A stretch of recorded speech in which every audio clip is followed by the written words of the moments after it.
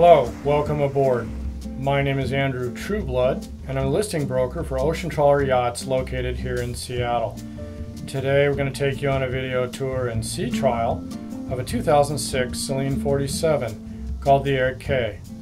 If you'd like a complete and detailed specification on this vessel, please visit our website at oceantrawleryachts.com. Thanks for joining us today.